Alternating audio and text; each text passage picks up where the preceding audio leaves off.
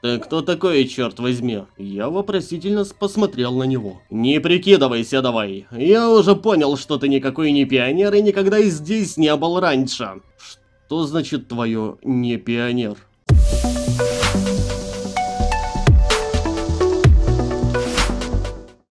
А перед началом этого видео попрошу поставить лайк и написать любой комментарий. Это поможет в продвижении канала. Спасибо! Здорово, братаны, вы на канале Дивплей, меня зовут Евгений, и сегодня мы будем продолжать проходить последнего героя. Так что, погнали! А чем тебя не устраивает классическая литература и история? Да, это, конечно, очень интересно но мне бы узнать что-нибудь действительно нужное.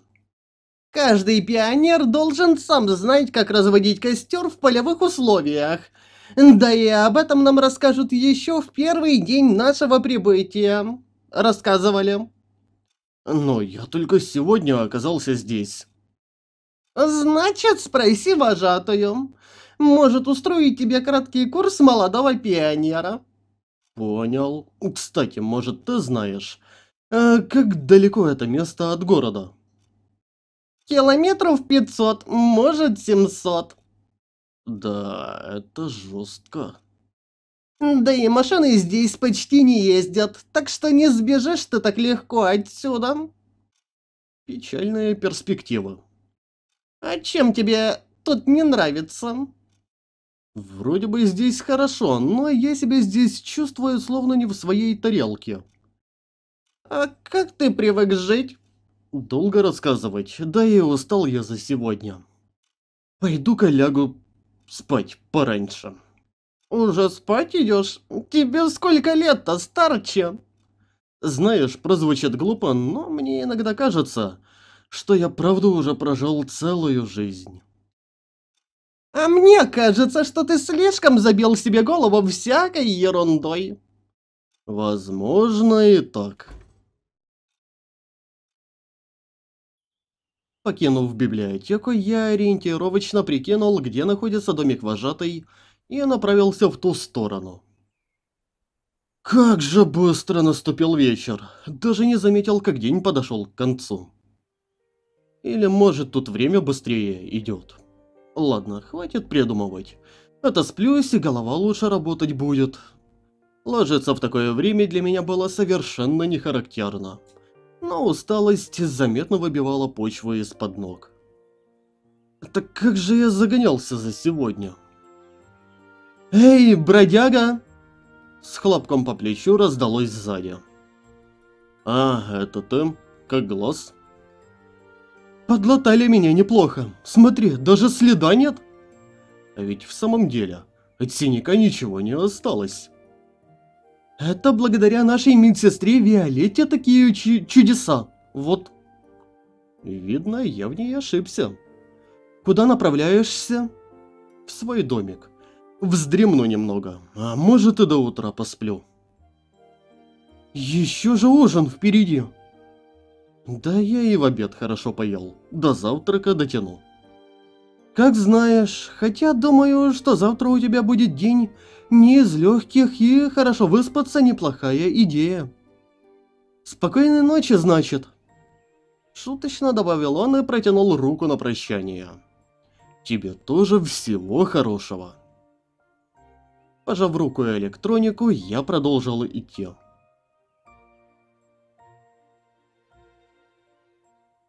Дойдя до конца площади, мне попалась по дороге недавняя бедняжка, которую я чуть не сшиб перед обедом.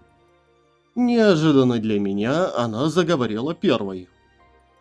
«Может, ты про произвел сегодня впечатление на всех в столовой, но меня точно не проведешь». «Чё?» «Пока я не знаю, кто ты такой на самом деле, и чутье мне подсказывает, что доверять тебе не стоит». «Да больно надо». Безразлично отрезал я и продолжил шаг. Мне принципиально не хотелось реагировать на нее. Продолжая шагать по площади, я надеялся, что отвязался от нее. «А ну стой!» Каким-то образом оказавшись впереди меня, она продолжала пилить меня своим взглядом. Я хотел ее обойти слева и справа, она все равно, все равно перекрывала мне дорогу. Остановившись, я перевел взгляд на нее и упер руки в карманы. Подойдя ко мне вплотную, она взяла меня за плечи и решительно спросила. «Признавайся, кто ты такой?» «Могу. А можно не так настойчиво?» «Нет, нельзя». «Ну, хотя бы давай дистанцию побольше сделаем между собой, чтобы кто-нибудь из, прих... из проходящих чё не подумал». «Да мне все равно на проходящих. Мне важно узнать, кто ты на самом деле. Из какого ты города? Сколько тебе лет? Почему решил отправиться в этот лагерь?» Интервью я давать не собираюсь. Ну, всего на один вопрос ответить сможешь? Ты мне можешь рассказать о своих родителях?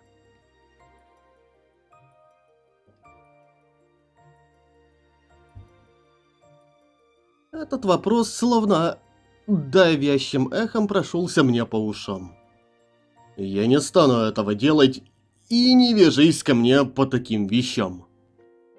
Как можно раздражительнее ответил я. Есть такие вещи, о которых лучше не вспоминать. Бля, я пропустил, что там еще было. А такие, как ты, лезут в чужую жизнь, не понимая, что могут поднять в памяти человека. После моего грубого ответа она замолчала и виновато опустила голову. «Оставь меня в покое, а?» Опять сорвался. Ну да ладно, сейчас не до этого. Жить буду, значит, в домике вожатой. Постучавшись, я зашел внутрь. Хотя зачем стучусь? Я же тут все равно прописан как жилец. Ольга Дмитриевна что-то искала в шкафу. Я не стал мешать и прошел мимо. «А, это ты, Андрей?» Раздалось за спиной. «Да, что-то я устал за сегодня. Посплю-ка, пожалуй». Скинув обувь, я упал на кровать лицом в подушку и закрыл глаза. «Ты что, сейчас же на ужин пора идти будет?»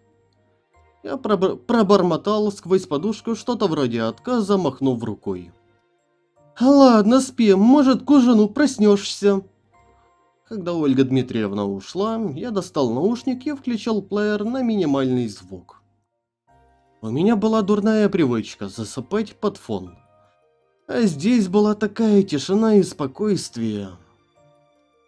А пока можно поразмыслить о сегодняшнем дне. Итак, ничего не понятно и дальше становится все только хуже. Версия с розыгрышем отпадает. У меня совсем не остается вариантов. Но я точно знаю, в этом замешана та девушка из парка.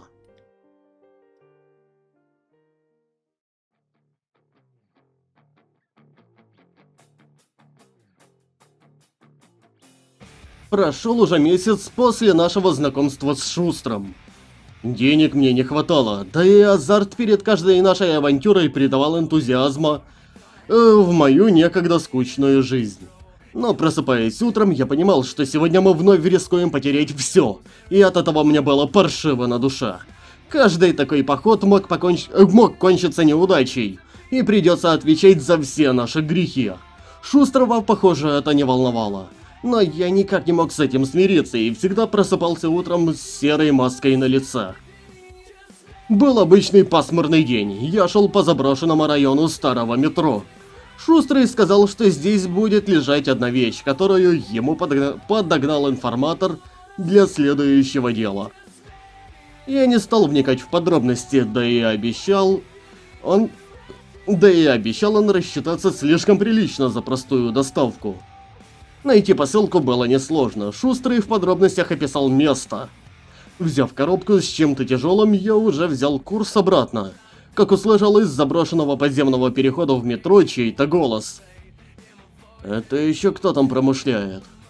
Спрятав посылку Шустрого под ближайший перевернутый бак, я осторожно спустился посмотреть, что там. Приблизившись к источнику звука, я встал за угол и прислушался. Голоса, которые я услышал, были мне уже знакомы.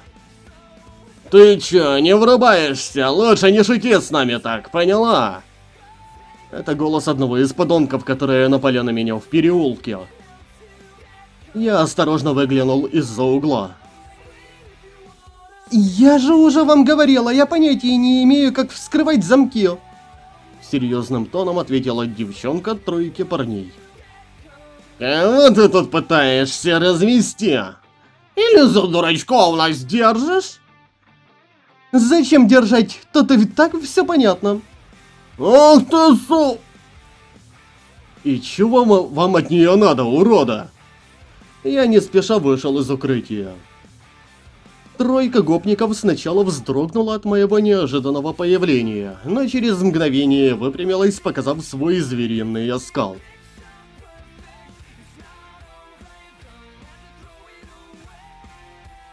Слышь, а ты чё за придурок, ёпта? А может это ты придурок? Стой, это же тот парень, которого Шустрый недавно спас. Да-да, точно этот. Точняк! В этот раз тебе никто не поможет. Можешь сразу готовить место почище на земле, где мы тебя валять будем. Как бы не так. Но ты можешь еще убежать, как последний шоу. Не дожидаясь, пока он договорит, я без промедления беру разбег и влетаю ему с колена под дых. Увидев, каких браток укатился на пару метров без сознания, остальные опешили. «Вот гад, вали его!» «Долго соображаете». Не сбивая напора, я поворачиваюсь к следующему противнику и отправляю ему в щеку хороший хук, хук правой. Теряя равновесие от такого удара, он падает с воплем, держась руками за лицо. Последний зашел мне в спину и уже схватил меня за торс, пытаясь поднять и опрокинуть на землю. Взяв размах локтем, я бью ему по челюсти. Как только подонок ослабил хватку, вырываюсь из захвата и в ту же секунду с разворота бью ему ногой в бок. Падая на спину, он больше не мог подняться. Из всех трех лишь один еще мог стоять. Тот, которому я вмазал по роже. Он уже отошел от моего удара и медленно поднимался на ноги. Заметив, что его кореша уже лежали без сознания, он попятился назад. Глаза его быстро, быстро забегали. Ноги начали трястись, а лицо приняло выражение отчаяния. Сжав кулак, я направился на него.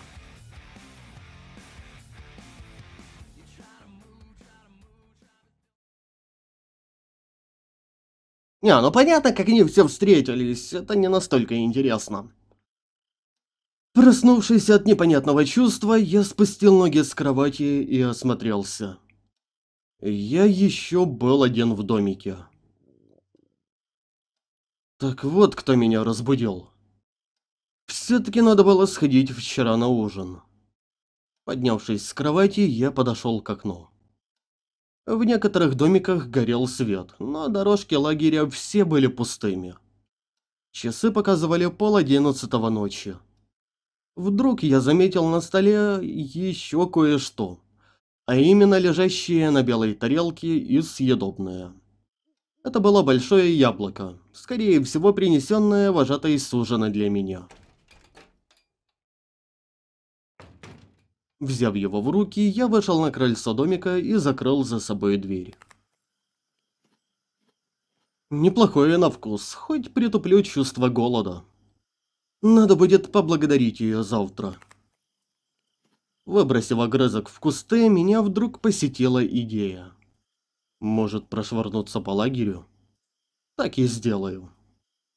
Пройдя площадь, я подошел к зданию клубов и вдруг услышал позади чей-то смех. «И чего это мы не спим?» Тот же вопрос могу задать и тебе. Спокойно ответил я. «А ты смельчак, тебе говорили?» «Бывало». Усмехнувшись, пионер оглянулся по сторонам. Вдруг он сделал серьезное выражение лица и спросил. «Ты кто такой, черт возьми?» Я вопросительно посмотрел на него. «Не прикидывайся давай, я уже понял, что ты никакой не пионер и никогда здесь не был раньше». «Что значит твое «не пионер»?» «А то, что ты прибыл сюда так же, как и я». Че ты блажишь-то? Хочешь, чтобы нас услышали? Повторю, я не понимаю о чем-то. Похоже, еще только первый круг мотаешь. Понятно. Сейчас с тобой бесполезно говорить.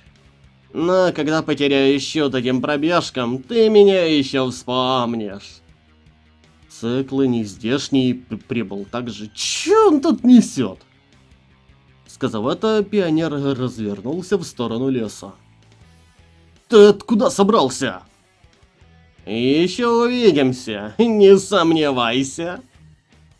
Громко засмеявшись, он ушел куда-то в лес. Он в лесу, что ли, живет? Не хотел бы я ходить ночью там. Плюнув на землю, я достал из кармана пачку сигарет. Все-таки зря я их таскаю с собой. Застукает еще, потом проблем не оберешься. Ай-яй-яй-яй-яй, как нехорошо. Раздался голос Алисы за спиной. Как же вовремя. Я быстро спрятал пачку в переднем кармане рубашки. А, это ты?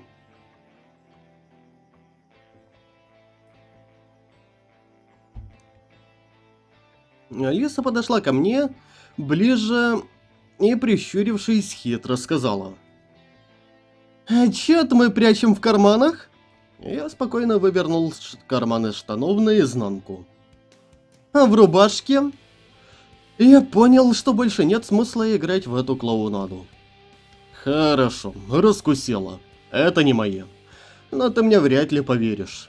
Да не отникивайся, ты придумал бы что-нибудь поинтереснее в самом деле. Я решил более не продолжать эту тему и сразу перейти к итогу. Расскажешь, вожатый? Нет, если дашь попробовать. Вытащив из кармана сигареты, я легонько подкинул их Алисе в руке. Да хоть всю пачку забирай. Ого, а тебе не жалко? Нет. Но и я бы на твоем месте выбросил их. Ни к чему хорошему это дело не приведет. Отчего сам не выбросил? Не успел. Я подумаю, но спасибо. Кстати, а почему ты в такое время тут ходишь? А ты вожатая, что ли? Какая разница, что я тут делала? Не вожатая, но лучше бы дома сидела. Тут не только я прогуливаюсь. Слышала я этого Семена с тобой тут. Не парься, меня выручать как Славию не придется. Я и не волновался, только предупреждаю. Отведя взгляд в сторону, хмуро добавил я. Ладно, слушай, почему ты не пришел после обеда на спортплощадку, как обещал? Эээ... Да я хз. Чуть не пришлось. От ее грустного взгляда мне становилось не по себе. Мне в самом деле не стоило забывать о своем обещании. После бурных событий в столовой у меня совсем все вылетело из головы. Давай завтра. А если захочу сейчас?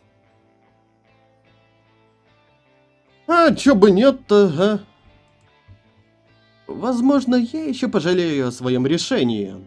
Но все-таки сам виноват, что забыл про наш с Алисой уговор. А давай, где хочешь тренироваться? В ответ Алиса засмеялась. Как же тебя легко провести печальным личиком, балда! Не в моих принципах отказывать, особенно после того, как сам облажался. Да не парься, завтра так завтра. Только в этот раз точно не забудь. Не сомневайся. Ладно, не будем здесь задерживаться. На утренней разминке увидимся. После того, как Алиса скрылась из виду, я начал думать, куда еще можно прогуляться. Вот черт, карту-то я выложил в домике еще вчера. Хотя отсюда видно вход в лагерь. Почему бы не сходить до него? Ворота были закрыты на навесной замок. Но от этого мне только больше захотелось выбраться наружу.